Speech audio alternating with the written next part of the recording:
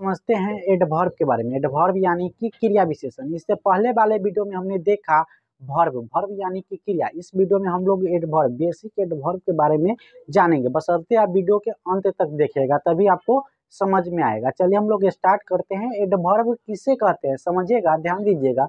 Adverb वह शब्द है जो वर्ब एडिजेक्टिव और दूसरे एडवर्ब की विशेषता बताते हैं। एडवर्ब कौन सा शब्द है? एडवर्ब वह शब्द है जो किसी एडिजेक्टिव वर्ब और अनादर एडवर्ब दूसरे एडवर्ब की विशेषता बताते हैं, उसे एडवर्ब क्रिया विशेषण कहते हैं। An adverb is a word use to add something to the meaning of a verb adjective और अनादर एडवर्ब जिसका उपयोग किसी वर्ब में, किसी एडिजेक्टिव में, किसी अनादर एडवर्ब में, क्या करने के लिए कुछ एड समथिंग विशेषता बताने के लिए क्या आता है उसे हम लोग एडवर्ब कहते हैं। चलिए इसके कुछ एग्ज़ाम्पल के स्वरूप समझते हैं एग्ज़ाम्पल के थ्रू समझते हैं। जैसे स्लोली केयरफुली ब्यूटीफुली ये सब क्या है? ये सब एडवर्ब है। Quickly loudly sadly hardly very too yesterday today ये जो है ब्यूटीफुल केयर ये सब एक एडिजेक्टिव का रूप है, लेकिन ये बाद में क्या भर्व के साथ प्रयोग होकर या किसमें बदल जाता है? या एडवर्ब के रूप में बदल जाता है। चलिए इसका सेंटेंस समझते हैं। ही कैम यस्टरडे वह कल आएगा। यस्टरडे कैम माने आना। आना के साथ एडिजेक्टिव एडवर्ब का प्रयोग हुआ यस्टरडे वह कल आएगा। कल उसकी विशेषता है। उसके बाद सी राइट्स ब्यूटीफुली वह सुंदर लिखती है। ब्यूटीफुली यानी कि ब्यूटीफुली क्या हो गया? एक एडवर्ब है। ब्यूटीफुली क्या है? एडवर्ब है आगे समझिएगा। ही रन्स फास्ट वह तेज दौड़ता है। दौड़ना है क्रिया क्रिया का जो विशेषता बता रहा है फास्ट तो फास्ट क्या हो जाएगा? एडवर्ब हो जाएगा आगे। गो देयर वहाँ जाओ। गो हो गया जाना जाना हो गया क्रिया। क्रिया की विशेषता है देयर वहाँ जाओ। तो वहाँ हो गया देयर देयर हो गया क्या? एडवर्ब। आगे है I do not know him मैं उसे नहीं जानता हूँ। किसे नहीं जानता? I do not him know know mean जानना हिम किसे नहीं जानता हूँ? तो उसे नहीं जानता हूँ। तो हिम हिम क्या हो जाएगा? हिम एक एडवर्ब हो जाता है हो, जाएगा। चलिए आगे जानते हैं इसके कुछ अलग काइंड्स के बारे में समझिएगा। जानते हैं एडवर्ब के काइंड्स के बारे में उसके प्रकार कौन कौन से है समझिएगा ध्यान दीजिएगा। पहला है adverb of time adverb of time क्या होता है? एडवर्ब ऑफ़ टाइम क्रिया के समय को बताता है। क्रिया के समय को बताता है। जैसे today now late tomorrow should ये सब क्या है? एडवर्ब ऑफ़ टाइम के प्रकार। अगला ये सेंटेंस के माध्यम समझते हैं। ही कैम यस्टरडे वह आए, कब आएगा? इसमें क्या बता रहा है? वह कब आएगा? वह आएगा, कब आएगा? तो कल आएगा। तो यस्टरडे क्या हो जाएगा? एडवर्ब ऑफ़ टाइम अगला ही विल कम सुन वह आने वाला है। वह आने वाला है। कब आने वाला है? तो सुन जल्द आने वाला। तो सुन कौन सा वर्ब एडवर्ब हो जाएगा? तो यो एडवर्ब ऑफ़ टाइम हो जाएगा। आगे समझिएगा। दूसरा समझते हैं एडवर्ब ऑफ़ फ्रीक्वेंसी आवृत्तिवाचक यह क्या करता है? एडवर्ब ऑफ़ फ्रीक्वेंसी से क्रिया के संपादन, यानी संपादन कितनी बार हुआ? संपादन, क्रिया का संपादन दिन में एक बार हुआ, दो बार हुआ, तीन बार हुआ, उसका बोध होता है। उसे हम क्या बोलते हैं? एडवर्ब ऑफ़ फ्रीक्वेंसी ध्यान दीजिएगा एग्ज़ाम्पल में नेवर वंस नेवर माने कभी नहीं वंस माने एक बार ऑलवेज माने हमेशा ट्वाइस माने दो बार डेली माने एक, प्रत्येक दिन अगेन माने दोबारा। कितनी बार हुआ? उसका बोध होता है। उसे क्या बोलते हैं? एडवर्ब ऑफ़ फ्रीक्वेंसी जैसे he came here twice he came here twice ये वह यहाँ आया, कितनी बार आया? तो ट्वाइस दो बार आया, दो बार क्या हो जाएगा? ट्वाइस क्या हो जाएगा? एडवर्ब ऑफ़ फ्रीक्वेंसी आगे I have always help you मैं सहायता करता हूँ, मैं उसकी सहायता करता हूँ, कितनी बार करता हूँ? तो ऑलवेज ऑलवेज जो हो जाएगा ऑलवेज क्या हो जाएगा? एडवर्ब ऑफ़ फ्रीक्वेंसी आगे समझते हैं, तीसरा adverb of manner adverb of manner क्या होता है? से यह बोध होता है कि क्रिया का संपादन किस ढंग से यानी कैसे होता है? इसे क्या बोध होता है? क्रिया का संपादन किस ढंग से या कैसे होता है? उसे हम क्या बोलते हैं? एडवर्ब ऑफ़ मैनर ध्यान दीजिएगा। एग्ज़ाम्पल है स्लोली लाउडली स्लोली हो जाएगा। लाउडली हो जाएगा काइंडली हो जाएगा वाइजली हो जाएगा बैडली हो जाएगा। ये सब क्या है? एडवर्ब ऑफ़ मैनर के रूप है। आगे समझते हैं। सी राइट्स ब्यूटीफुली वह लिखती है। कैसी लिखती है? तो सुंदर लिखती है। तो ब्यूटीफुली हो जाएगा एडवर्ब ऑफ़ मैनर्स आगे है ही रन फास्ट वह कैसे दौड़ता है? वह दौड़ता है, कैसे दौड़ता है? तो तेज दौड़ता है तो फास्ट दौड़ना क्या हो जाएगा? एडवर्ब ऑफ़ मैनर चलिए आगे समझते हैं कुछ अगले काइंड्स के बारे में। वर्ब के अगले काइंड्स के बारे में, इसके अगले काइंड कौन कौन से समझिएगा, ध्यान दीजिएगा, पहला है adverb of place adverb of place यानी कि स्थान वाचक क्रिया विशेषण।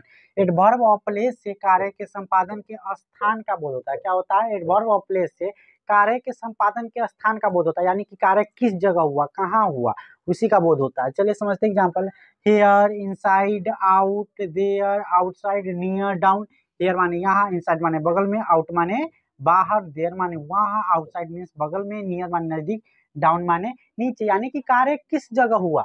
एग्ज़ाम्पल के थ्रू समझते हैं गो देयर वहाँ जाओ, कहाँ जाओ तो वहाँ जाओ। तो देयर वहाँ का वहाँ का संपादन हुआ। I shall wait for you outside मैं तुम्हारे लिए बगल में इंतज़ार करूँगा। तो आउटसाइड जो हो गया, यह एडवर्ब ऑफ़ प्लेस हो गया। आगे समझिएगा एडवर्ब ऑफ़ डिग्री से बोध होता है कि किसी कार्य की तीव्रता किस हद तक और कितनी है। अगला है हमारा adverb of degree adverb of degree से क्या बोध होता है? से बोध होता है कि किसी कार्य की तीव्रता किस हद तक और कितनी यानी कार्य कितनी तेज़ी से हुआ। कैसे हुआ? धीरे धीरे हुआ या ज़ोर से हुआ? चलिए, जैसे भेरी माने, बहुत totally much almost fully. Sita is very happy Sita जो है, बहुत खुश है। तो भेरी जो हो गया, भेरी एक क्या है? भेरी। सीता बहुत खुश है। तो भेरी हो गया एक adverb she hardly knows me वह मुझे बहुत जैसे कोई रहता है आप, वह मुझे सी हार्डली नोज़ मी वह मुझे जानता है। हार्डली यहाँ पे हार्डली का जो यूज़ हुआ। हार्डली क्या हो जाएगा? हार्डली है एक एडवर्ब ऑफ़ डिग्री। आगे समझते हैं, इंट्रोगेटिव एडवर्ब इंट्रोगेटिव माने प्रश्नवाचक क्रिया विशेषण का प्रयोग प्रश्न पूछने के लिए किया जाता है। इंट्रोगेटिव माने हम सिंपल समझते हैं कि इंट्रोगेटिव कोई भी होता है। इंट्रोगेटिव प्रोनाउन हो वर्ब हो एडवर्ब हो डिजेक्टिव हो, ये सब का प्रयोग किसके लिए होता है? प्रश्न पूछने के लिए होता है। जैसे when where how why how long how much ये सब क्या है? ये सब इंट्रोगेटिव वर्ड है। जैसे वेयर इज़ मुकुल? मुकुल कहाँ है? वेयर का प्रयोग हुआ इंट्रोगेटिव एडवर्ब के बारे में?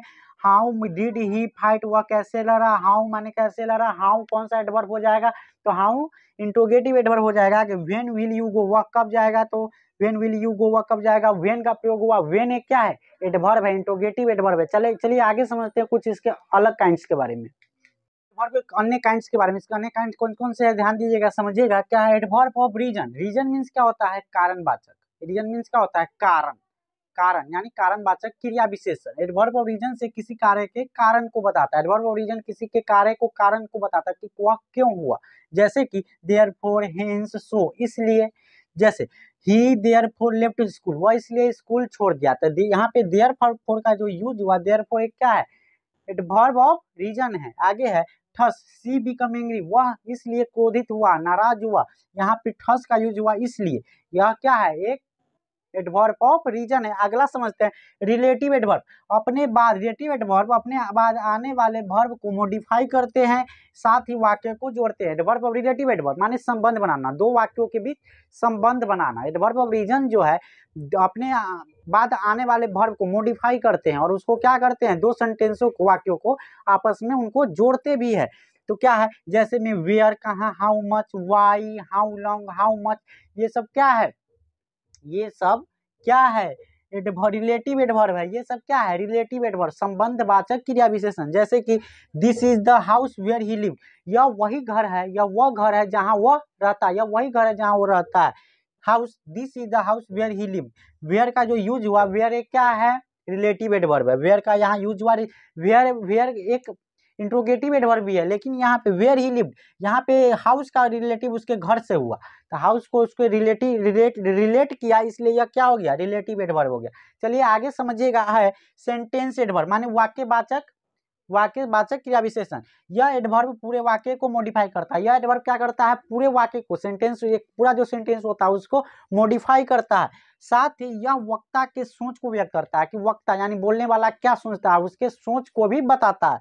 जैसे में surely clearly actually clearly surely माने वास्तव में एक्चुअली वास्तव में क्लियरली सी का, सी कुल डू इट श्योरली वह इसे निश्चित कर सकता है सी कुल डू इट श्योरली वह इसे निश्चित कर सकता है।